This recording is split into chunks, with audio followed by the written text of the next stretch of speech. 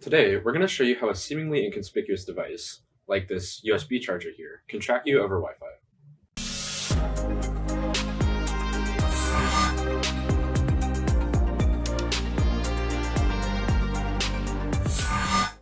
If you've ever wondered if you're being watched, a device as small and inconspicuous as this USB wall charger could be the device that's watching you over Wi-Fi, using a small implant like this ESP8266. The ESP bug is a project I developed that detects whether or not Wi-Fi devices are within proximity of a certain range, and an attacker could potentially use this to detect whether or not certain people are nearby. When placed in a home or in the office, the ESP bug can be used to discern the presence of people or devices based off their MAC address through a remote web interface I developed. If you want to follow along, all you're going to need is an ESP8266 and a USB cable like this one that has data. Once you have these things, we can get started. You can start by heading over to my GitHub at github.com slash alexlynd slash espbug, where you can find the source code for this project. I'm going to start by cloning this repository in my terminal, which I am running Ubuntu on. So if you don't have a Linux computer, you can also use a single board computer like the Raspberry Pi or some other device that's able to run Linux if you want to follow along with this tutorial. So I'm going to start by running sudo git, oh wait, I don't need sudo for that. I'm going to run git clone https github.com slash alexlynd slash espbug, which will basically just clone this repository to a local place on my computer so we can run the code. So I'm just going to run that. And here you can see I actually already have the source code installed because I wrote it. So I can see that it's already on my computer.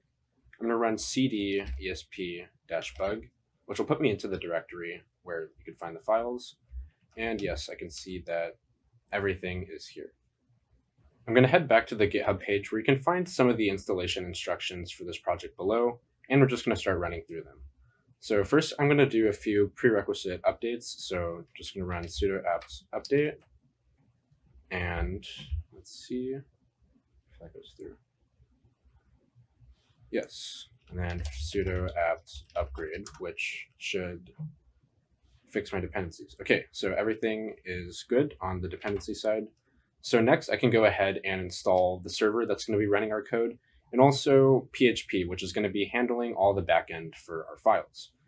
So another thing I want to point out is we're going to be locally hosting this server, but another alternative, if say you're actually remotely implanting this, you're going to want to use a web hosting service. Um, there's a few good ones out there like 000 web host, which is completely free web hosting. Um, that requires a little bit of configuration, but there's tons of online tutorials you could follow if you wanted to get this set up. So I'm going to complete following through with locally installing um, the ESP bug. The next thing you're going to want to do is install Nginx, which is going to be the server powering our code. So I'm going to run sudo apt install Nginx. And here we can see I also have this installed on my computer already. So you'll probably get a different output than this. Next, we can move on to installing PHP, which I can copy from this line. So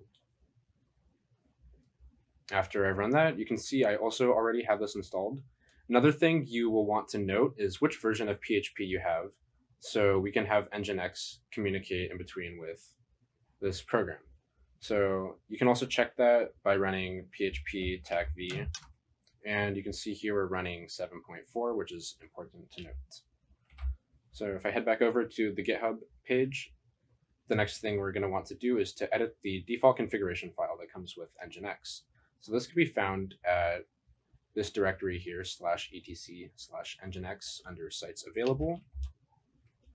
So running this line will pop us into a text editor, which will allow me to edit the default configuration file, and just plug in some information that's tailored specifically to your device.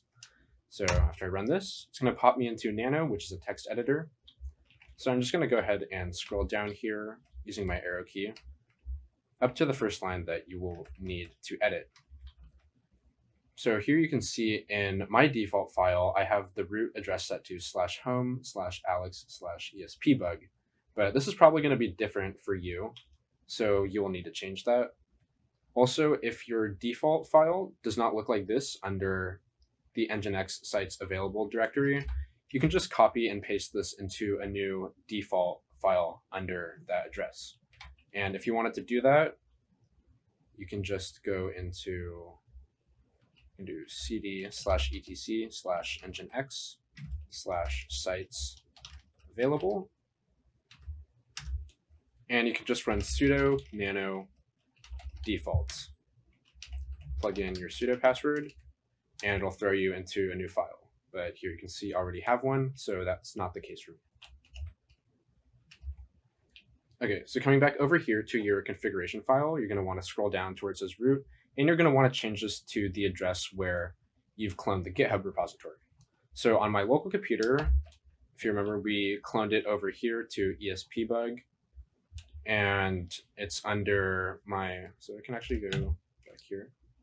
So if you want to find where that file is actually stored, it would be under slash, you can do ls, and home is where you can find a list of your users. So cd home. And if you just run ls, it shows you um, which user it is that is currently going to be running this. So if I head back over to the configuration file, all you would have to do is just plug that directory into this line. So slash home slash your username here, and then the name of the repository, which is espbug and then just another slash at the end so it knows that it's looking in a directory. Another important line for the configuration is this one here. And here you can see we've added index.php amidst it so that it knows to look for PHP files. And another thing you're going to want to note is also the version of PHP that you're running. So if you're running a newer or older version of PHP, you can just put the version you're running in here, which we pulled earlier from that PHP tech version command. So once you have everything tailored to your settings, you can just hit Control O to output and Nano, hit enter, and then Control X, and that'll take you out of the file. All right, and the final thing we're going to want to do is to get our server up and running. So we're going to reload the nginx service with sudo service nginx reload.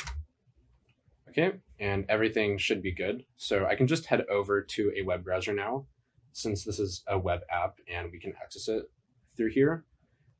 I'm going to open a new tab and type in localhost here, which is where it should be serving our website. So here you can see that it actually shows it as forbidden, but that's because I forgot to complete the directory where the files are stored at. So if we go back to where the ESP bug is stored and run ls, this shows us what folders are underneath it. Here you can see we have bug, we have image, and the web directory. And since right now localhost is pointed towards just this directory in our configuration file, we'll need to be a little more specific. So I'm going to do slash web here, and that pulls up the interface. You can see that there's already a few devices that are cached on the website, even though we haven't set up our ESP8266 yet. That's because since the server is storing data in such a volatile way, I had it cache the devices to a locally saved file, which it pulled up beforehand. So now we're going to get the ESP8266 actually up and running so that we can get a live stream of data.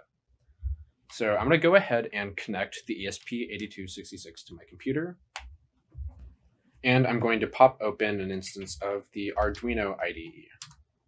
If you don't already have this program installed, it is going to be the programming interface that we're using to communicate with the ESP chip. And if you don't have it installed, you can just head over to arduino.cc and head over to their download page if you want to grab a copy of the software. So heading back to the IDE, I'm going to want to just open the source code for the ESP bug. So I'm going to head over, okay, so you can see we're already in the directory ESP bug. I'm going to head over to bug and we're going to open this file bug.ino. And here you can find all the source code for this wonderful little chip. And basically what it's going to be doing is connecting to your Wi-Fi network and pushing the data out that it finds over to this server name address here. So there's also a few things you're going to need to configure with this file before we get it started. So the three parameters you're going to want to edit are your network. So here I have plugged in my network name, you're going to want to put your password here between the quotes. And then finally, the server name where it's pointed towards. since I'm locally hosting this project, I'm able to direct it at a local IP address, which you can find just by running ifconfig in your terminal. So my address is at 192.168.1.89, which matches up with what I have here, and it's pointed towards port 80, which is going to be serving the file over HTTP. And this extra directory at the end is redundant. So we're going to point that to slash web slash submit dot php, which is going to be the file that's handling our requests. So I'm going to go ahead and save this file real quick and compile it to make sure that everything works. And we can see that it compiled successfully. So I'm going to go ahead and upload the code. But before we do that, there's a few things you're going to need to do. I'm going to head over to tools to make sure that I have the right board selected and that I have the right port set up. So heading over to tools, you can see that I've selected Lolin D1 Mini, which is the specific board carrier that I have for this ESP8266. And if you don't already have the plugin for the ESP8266 set up on your Arduino IDE, you can go ahead and do that by just simply heading over to File, Preferences, and copying in this address. After that, close the window and head over to Boards, Board Manager, and search for ESP8266. After you've installed this package, you should be good to go and we can upload the code.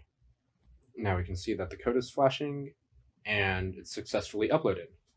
Okay, so if I head over to a serial monitor of this board, which will allow me to read out which processes it's currently running, I can just do Control Shift M to pull up that monitor at 9600 baud, which is what I have it set to. And I'm going to go ahead and restart the chip. And you can see it started to connect to our Wi-Fi network based off the credentials we plugged in. So we got a response code of 200, which is good, and it shows that it's successfully connected to the network. So if I head over to this page, back to the remote ESP bug, we should see a change of data in here relatively soon, assuming that everything is up and running.